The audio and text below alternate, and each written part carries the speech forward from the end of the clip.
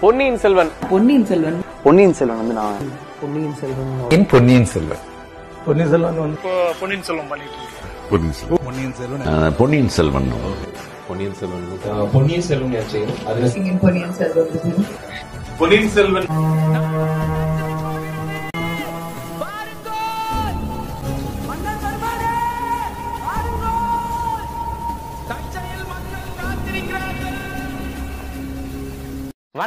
வணக்கம் and welcome to the Tamil Arasan talks Ponniyin Selvan படத்துல இருந்து அஃபீஷியலாக ரொம்ப நாளாக எதிர்பார்த்துக்கிருந்த ஒரு போஸ்டர் வந்து வெளியிட்டிருக்காங்க.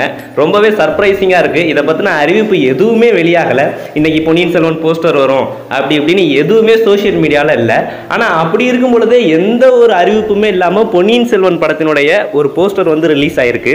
அதில் பிஎஸ் ஒன் அப்படிங்கக்கூடிய தலைப்பும் கொடுத்துருக்காங்க. கார்த்தி அவர்கள் ஜெயம் ரவி அவர்கள் ஏஆர் ரகுமான் அவர்கள் அப்புறம் மணிரத்னம் அவர்களுடைய மெட்ராஸ் டாக்கிஸ் லைகா ப்ரொடக்ஷன் அப்படின்னு சொல்லி எல்லாருமே அவங்களுடைய அஃபிஷியல் ட்விட்டர் ஹேண்டில் இருந்து இந்த போஸ்டர் ரிலீஸ் பண்ணியிருக்காங்க.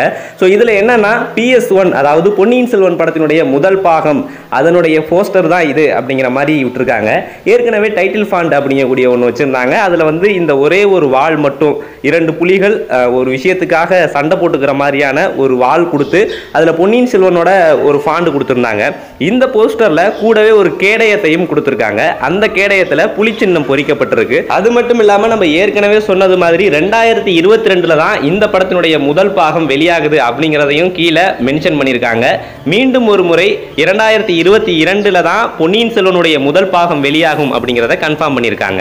ஸோ இவ்வளோ நாளாக நிறைய விஷயங்கள் இந்த படத்துலேருந்து எதுவுமே அஃபிஷியலாக வர மாட்டேங்குதுன்னு எவ்வளவோ வீடியோஸ் நம்மளும் போட்டிருக்கோம். ஸோ அஃபிஷியலாக படத்தோட சைட்லேருந்தே ஒரு போஸ்ட் ரிலீஸ் பண்ணியிருக்காங்க. இதை பற்றி நீங்கள் என்ன நினைக்கிறீங்க? இந்த போஸ்டரை பற்றி ப்ளஸ் படத்தை பற்றி இது எல்லா விஷயங்களையுமே கமெண்ட்டில் சொல்லுங்கள் இதே மாதிரி பொன்னியின் செல்வன் பற்றின அப்டேட்ஸ் நிறைய வரும்பொழுது நான் உங்களுக்கு உடனுக்குடனே சொல்கிறேன் தொடர்ந்து பயணிங்க.